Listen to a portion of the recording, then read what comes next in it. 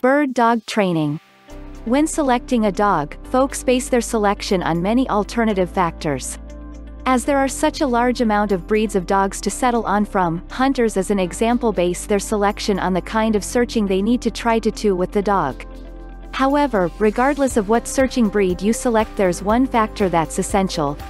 It's referred to as sporting dog coaching and aside from being terribly pleasant it's crucial for a dog. The most vital factor concerning such coaching is that it should begin quite while before coming up with the primary real searching trip. It is okay, familiar that each one bird searching breeds do have their natural inborn instincts, which make them so good for that type of hunting, but we still need the sporting dog coaching so as to find out the way to management those instincts. And build searching rather more pleasant each for USA and for the dog. It is associate unpleasant feeling once searching to yell at a dog that ne'er listens. That's why the most purpose of an honest sporting dog educational program is to find out to speak together with your dog. Once you have the program all you need is consistency, as it takes many weeks, even months to learn that lesson. The dog breeds have a sort of inborn ought to please their owner. It's like a second nature. Usually searching breeds are fast learners and are terribly desirous to go searching naturally they've been bred to try to do that. But those dogs do want their trainer to be terribly consistent within the manner he trains them.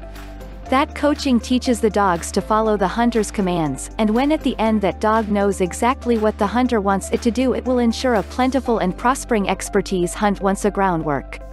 The coaching for bird searching dogs isn't solely restricted to the upland game searching, it additionally applies for dogs searching waterfowls.